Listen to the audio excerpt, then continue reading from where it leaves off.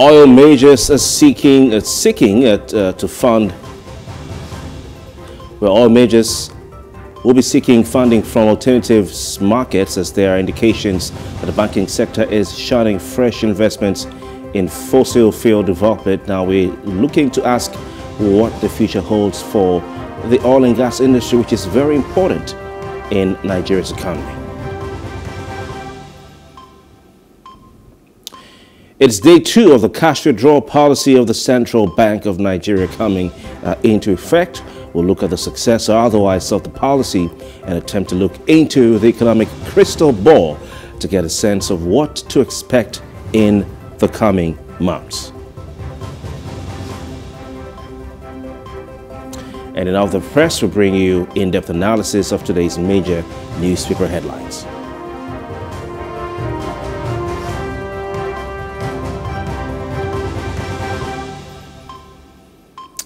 All right, uh, you're welcome. It's a breakfast on Plus TV Africa, and uh, we're glad to be back. We have a bumper package for you this morning.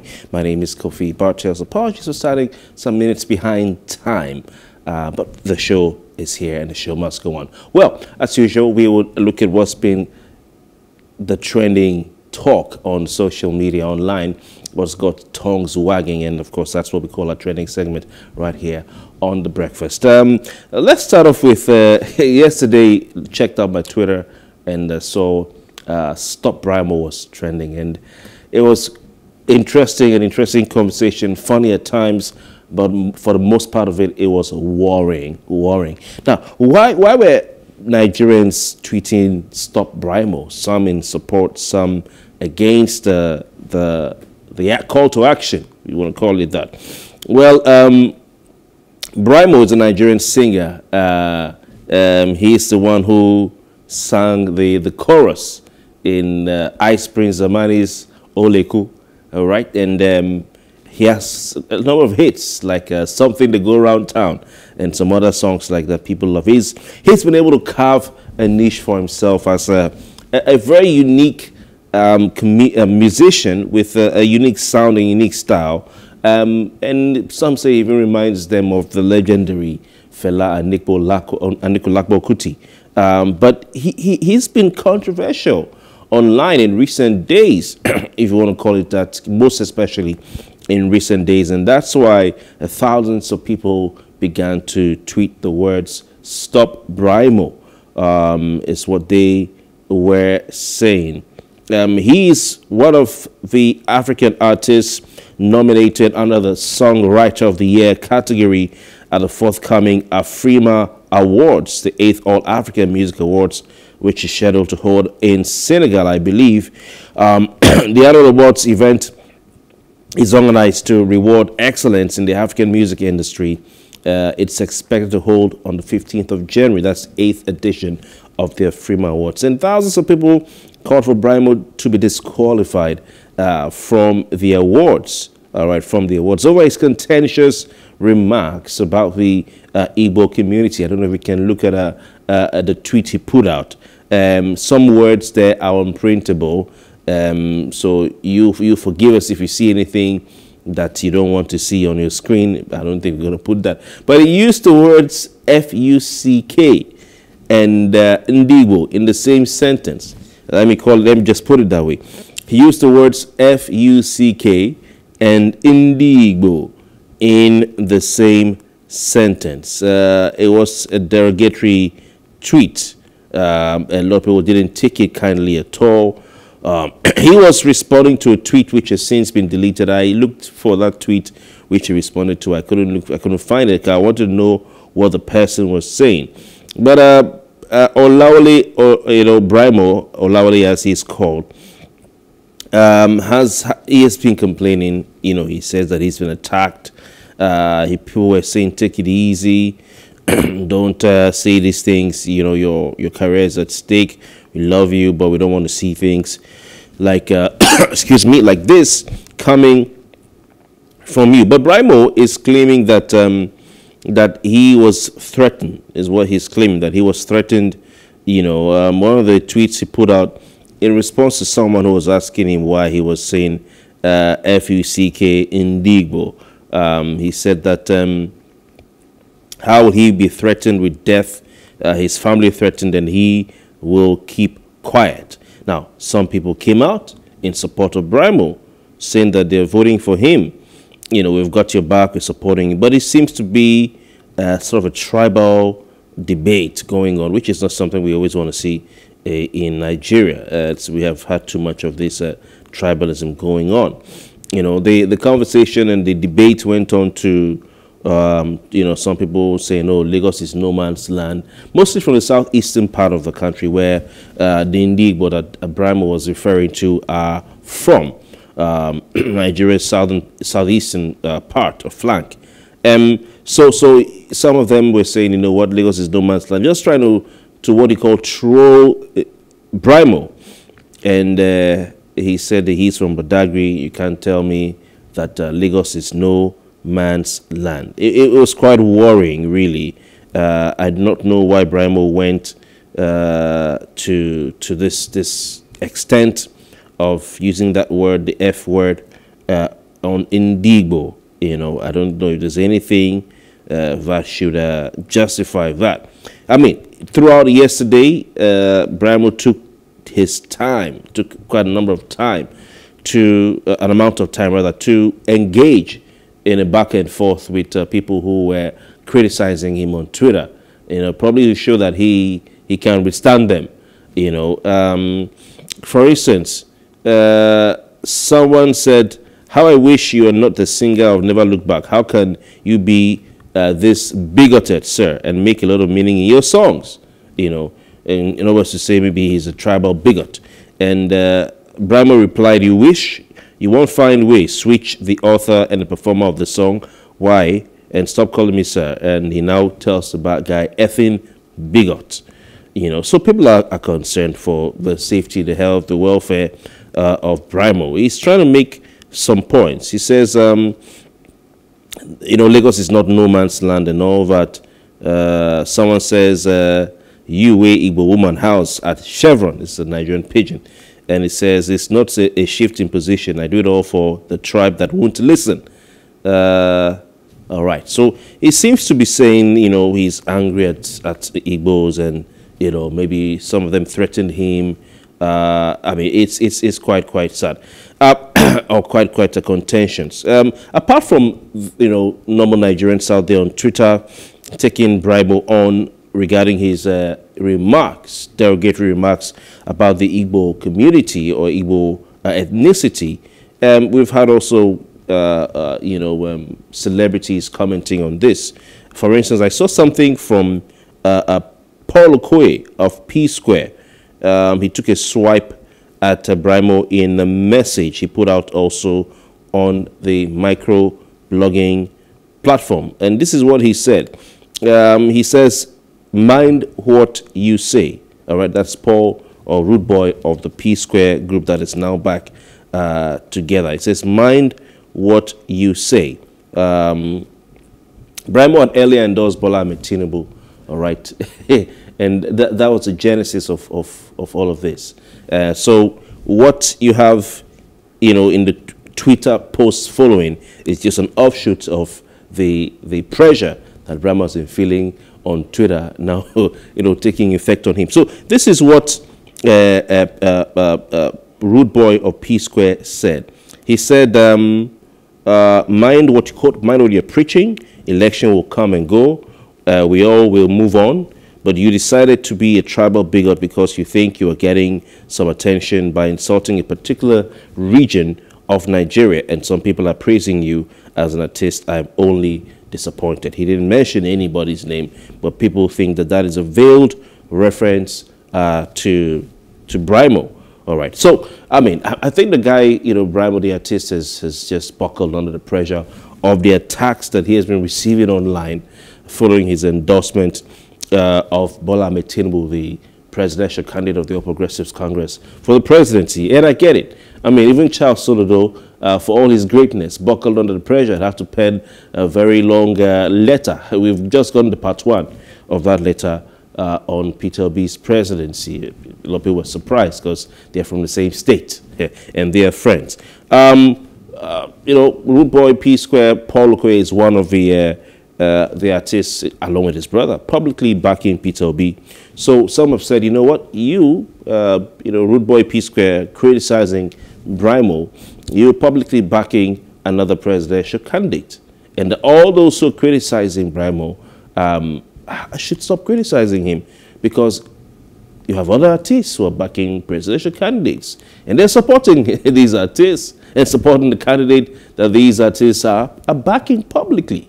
So why the backlash, why the criticism, why the, why the fire on Brymo simply because he's supporting a candidate some people on Twitter do not like. It is his constitutional right. But for Brymo, um, buckling under the pressure to say those uncharitable words about a, a, a tribe in this country, um, uh, I, think it's, uh, he's made a mistake that he may uh, regret in the coming days, weeks, and months you know, because you don't want to be, you know, the one, you know, tweeting hate speech against the tribe. It's, it's really sad. It's really sad indeed. And I hope that um, uh, Brymo may, will be able to find, you know, redemption and will also find his way back to, uh, uh, uh you know, some sort of uh, apology to those who are affected by that. Because when you tell somebody F you, use F word, it's, it's one of the most uh, derogatory things to say to anyone. So it's, it's quite sad. Um, some have said that Brymo was simply doing this to trend, you know, to trend and maybe sell some more of his music. I don't know if that is, is true. But so far, from what I can see on my screen, I don't know if we can show uh, the, the, the, screenshot of the, the petition. It's on um, change.org. Uh, so far, about 2,500 people have signed the petition, you know, calling for Afrima to cancel the nomination of Brymo uh, for that award. So let's see how it goes. Um, if Brymo will get more people through this controversy to support him, or if Afrima uh, will pull the plugs, uh, pull the plugs at the end uh, of the day. Really sad indeed. Really sad indeed. Uh, what the man has been has been tweeting. Anyway, let's move on. Um, there was unrest uh, in a part of Lagos yesterday as uh, Yoruba Nation agitators held their rally in Lagos. I don't know if we can we roll some of the clips. All right, um, let's just listen to what this gentleman or this in Wales are saying. Can we hear what they're saying? All right.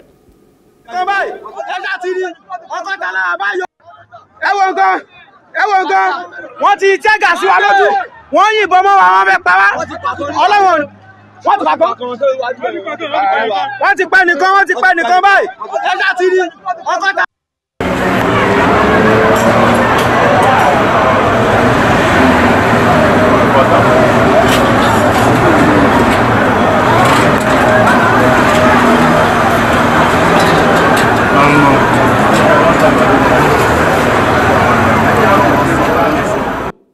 All right, so there was unrest. I mean, yesterday Twitter was on fire. Um, there was unrest reported in the Ojota axis uh, of Lagos as some uh, supporters of the Yoruba Nation agitation, they held a rally um, in Lagos. They um, put out some information, you know, we monitored some of the tweets on social media. Uh, most of them were saying that the rally was meant to be peaceful and that the police uh, uh engaged them in, in a shootout uh, and at least two persons were dead. These are reports from people who say they were there and that they put out the information on social media. In fact, as a picture you know, of uh, a, a, dead body that was put out by uh, a mainland, instant mainland uh, Twitter account, saying that one person was reportedly killed. But one of those who happened to be at that uh, rally, one of the Yoruba Nation supporters, uh, said that uh, two people were killed. Now, of course, this is something that is subject to confirmation by the police, but based on videos and photos shared on social media, it was clear that Ojota was a scene of a clash between the police and members uh, of the Yoruba uh, Nation agitation uh, group. Um, an investigation, an investigative journalism platform uh, is saying that a source has told them that two groups suspected to be Oodua People's Congress and the Yoruba Nation agitators clashed in the early hours of Monday, resulting in, in the casualty, one casualty. So Um, while some of the social media reports are saying the police were the ones who came and attacked Yoruba Nation group holding their uh, uh, mega rally um, to press for self-determination. Uh, another report from uh, the Foundation for Investigative Journalism is saying that two groups, Oodua People's Congress and Yoruba Nation agitators, clashed, and that is what led to this alleged death of either one or two people. We're told that this, the police arrived at the scene and shot tear gas to uh, disperse the crowd. And yesterday, uh, the reports indicated that Ojota was the scene of chaos. Um, you know, Ojota was on fire, is what we're hearing. Now, the police public relations officer in Lagos State, Benjamin Hundeyin, uh, said that normalcy was restored. He couldn't give details um, at the time uh, that we filed our report. Um, so it's it's it's it's really really really sad one.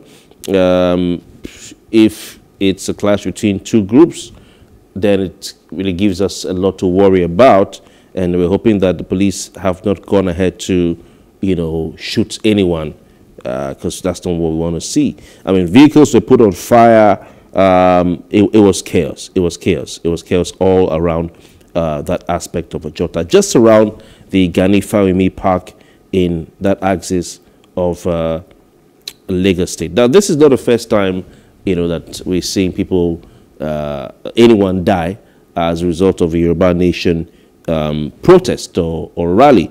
You recall that on July 3, 2021, uh, a sales girl, Jumoke Oyeleke, uh, was shot by the police while trying to disperse the Yoruba Nation protesters. A sales girl was shot by the police. Uh, Jumoke Oyeleke is her name. Uh, coroner's inquest into the circumstances surrounding the events that claimed the life of that 25-year-old sales girl indicted the police, but not no suspect was released uh, for the prosecution. Okay, um, so so that's what we have. Really sad uh, one. Um, a, a, report I saw indicated that a, a tricycle operator uh, who refused to disclose his name I think it was in a punch. Uh, he said he was afraid of being arrested by the police or, or anything, something like that. He said the protesters were demonstrating peacefully when a policewoman gave the order uh, for the police to disperse the crowd, and that was when uh, bullets, you know, were being fired at directly at the protesters. So, I mean, we need the police to come out and tell us what really happens happened there. Uh, another eyewitness who is cited by the Punch uh, who is said to run a business in front of the Ojota Gani Fawehinmi Park, um, said that uh, the protesters arrived at the park at about 3 a.m. on Monday morning. Uh, also went on to tell the paper that buses dropped off the protesters and they saw them clustering and all that.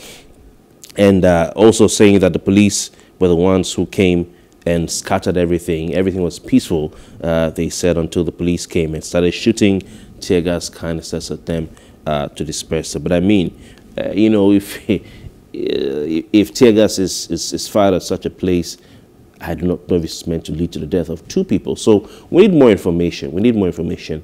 Uh, as we speak, the police have not put out anything that I've seen. So anyway, we'll leave it at that. And um, we hope that an investigation will carried out and that we can get something uh, from the police in Lagos State. Let's move on. Uh, this one is uh, close to home because it involves a media uh, executive. This time we're talking about Raymond Dokpesi, who is uh, the owner of AIT uh, Television. Yes, African Independent Television, and indeed uh, Raypower FM. It's a radio station. You can find it across the country. Now, he's not to be a member of the People's Democratic Party. Um, I mean, you all remember what transpired in 2015 uh, when AIT put out some documentaries uh, against uh, the current president of the Federal Republic of Nigeria, then a candidate uh, of the All Progressives Congress. Um, so his, his relationship, his activities, involvement with the People's Democratic Party is well documented. And Of course, right now, um, the PDP has a presidential candidate in the mold of uh, Atiku Abubakar. Well, the founder of DAAR Communication, owner of um, AIT and Raypower, um, we told that he was arrested by police in the United Kingdom yesterday and released yesterday. Uh, he's, like I said, the chieftain of the PDP. Um, multiple uh, media reports on Sunday said he was arrested in London. Um, he's also the Director General of uh, the PDP Presidential Campaign Council in charge of technical and systems. I don't know what that means, uh, but reports said yesterday that he was reportedly picked up at Heathrow Airport in London uh, after touching down from Frankfurt on Sunday uh, ahead of a meeting with the PDP presidential candidate Atiku Abubakar, who is in London. Um, some have suspected that he's also going to take care of his health while he is there. Um, now, the reports that we monitored did not really indicate the incident or the reason for the incident and the reason for uh, the arrest or detention of Raymond uh, Dokpesi, but his visit to the UK is connected to an invitation uh, by the UK government to Atiku. Uh, we're told he's been invited to share perspectives on issues around the 2023 uh, general uh, elections. Okay? Now, uh, something was put out by DAAR Communications. I'm just going to read some excerpts of that. They're saying that uh, Dokpesi was delayed at the airport for some, to quote, uh, Dokpesi was delayed at the airport for some hours before his passport was stamped and he was cleared by the British immigration officials for entry into the country. Uh, they went on to say Chief Dokpesi wishes to thank all for their outpour of love, prayers and support following the news of the incident and to reassure all that he is uh, hale and hearty. You know, it's political season, so when these things happen, uh, it's bound to, to attract attention, especially uh, if it involves any of the major political parties or their officials. So Dr. is a major figure in the PDP presidential campaign. And uh, of course, 2023 is around the corner. That's the biggest news in Nigeria, anything about the elections. But for me, it's not really an issue. Um, you know, if he has a, something to, to answer for in the UK, uh, he would have been detained, probably taken to court. I don't know. It's if it's an immigration issue or some other thing. But he's been released and he was let go. So I think that's the end of the story. there are very important things to look at, especially why uh, Atiku is in the UK uh, and what he will do while there. Will he give a speech? Is he going to go to Chatham House? You know, he say some things that he's not told to the Nigerian media or to Nigerians in the country like some of the other candidates? I don't know. Time will tell. But we'll keep watching and monitoring. That's the much you can take on this segment, uh, training segment. We'll be right back. We have the paper review up ahead.